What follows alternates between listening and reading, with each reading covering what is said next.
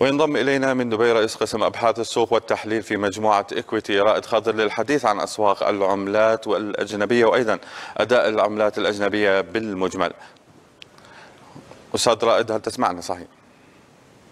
نعم أهلا وسهلا. نعم يسعد صباحك. بداية يعني لاحظنا حالة الاستقرار في مؤشر الدولار مع نهاية تعاملات الأسبوع الماضي. وإذا هل تتوقع أن تبقى هذه الحالة للدولار حتى نهاية تعاملات هذا العام؟ وتحديدا هل وصل الدولار إلى أعلى قمة مسجلة خلال تعاملات 2022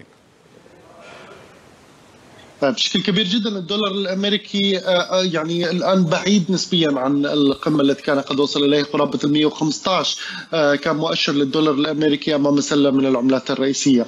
الآن الدولار يتداول قرابة مستويات ما بين 103 إلى 104 الدولار الأمريكي على الرغم من إبطاء وتيره تشديد السياسة النقدية الا أنه الدولار الأمريكي لا يزال في أداء صاعد ومرتفع لأنه ببساطة شديدة تم تعديل مستهدفات أسعار الفائدة أو سقف أسعار الفائدة للعام القادم آه، إلى 5.1% وهذا من شأنه كان آه، عفوا إلى العام الحالي إلى 5.1% وهذا كان من شأنه أنه آه، يؤثر على نوايا الفيدرالي الأمريكي ب يعني إبطاء أو إيقاف عملية أسعار الفائدة والسوق كان يسعر هذا الأمر. حقيقة نشهد أن الدولار الأمريكي في الوقت الحالي بدأ يدخل في مرحلة الضعف التدريجي كتذبذب كنطاق تداول لأنه نقترب أكثر اليوم في عندنا عطل مصرفية في معظم الاقتصادات العظمى في العالم. نعم. وطبعا خلال بنهاية تعاملات الأسبوع ننتظر إغلاق مبكر للأسواق. نعم. تحديدا يعني في الإغلاق المبكر للأسواق هل تتوقع أيضا استمرار حالة يعني البيانات الإيجابية تصدر في منطقة اليورو وأيضا في الولايات المتحدة؟ وأثرت بشكل كبير على منحنيات أداء اليورو. هل تتوقع استمرار الاستقرار في اليورو أم سيرتفع في ظل البيانات الاقتصادية المرتقبة؟ يعني في عندنا مجموعة من البيانات المرتقبة خلال تعاملات هذا الأسبوع لا ترتقي إلى التأثير الكبير على نعم. تحركات الأسواق ولكن آه نحن آه نعلم تماما مع انخفاض السيولة في الأسواق تزداد الحركات آه، آه، المفاجئة والانتقالات السريعة السعرية.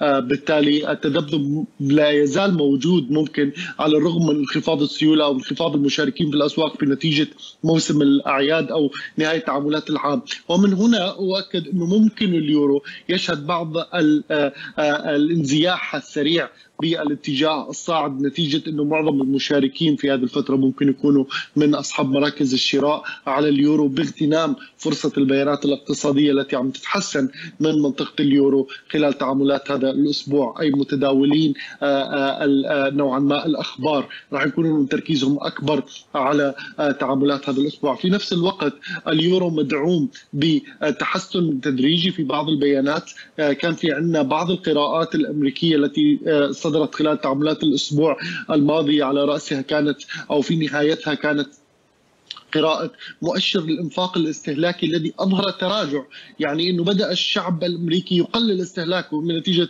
مستويات تضخم مرتفعة، فذلك آه، يعني نوعا ما الضغط ممكن يساعد على ارتفاع اليورو أمام الدولار الأمريكي خلال تعاملات هذا الأسبوع، ونقترب أكثر باتجاه ال 1.07 يعني آه، أعتقد من الممكن جدا أن يستقر اليورو أو ينهي اليورو تعاملات هذا العام عند هذه المستويات. نعم، أستاذ رائد يعني نحاول خلال تعاملات هذا العام النظر والتركيز على أداء الين الياباني الذي تحرك بشكل كبير وأيضا قرارات المركزي الياباني خلاف باقي البنوك المركزية بالمجمل فيما يتعلق بأسعار الفائدة، يعني الأسباب التي أدت إلى تحرك الين الياباني خلال تعاملات الأسبوع الماضي وهل تتوقع استمرار ارتفاع الين مقابل الدولار؟ يعني هناك تغيير كبير آه، حقيقة نعم. وصدمة كانت للأسواق فيما يتعلق بالسياسة النقدية من البنك المركزي الياباني. أن يوسع مستهدفات أو مجال تحرك آه، عوائد السندات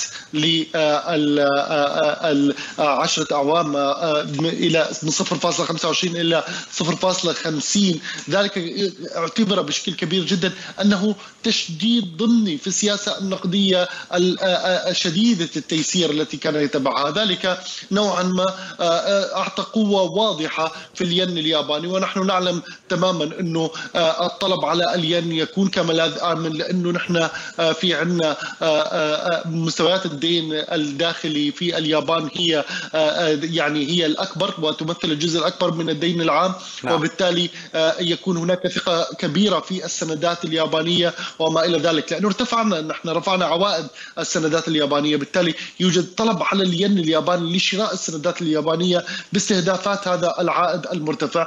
هنا يعني أعتقد يستقر أو ضعف بعض الشيء بس اليوم أو بنهايه تعاملات الأسبوع من مبدأ عمليات جني أرباح يمكن ذكرها على سبيل المثال أمام الدولار الأمريكي. ولكن الاتجاه العام تحولت كليا بالنسبة لدولار أمريكي ياباني إلى اتجاه هابط. ومستهدفاتنا التالية هي دون مستويات ال 130 نعم رئيس قسم أبحاث السوق والتحليل في مجموعة إكويديا الأستاذ رائد خضر كنت معنا من دبي. شكرا لك على هذه التفاصيل والمعلومات.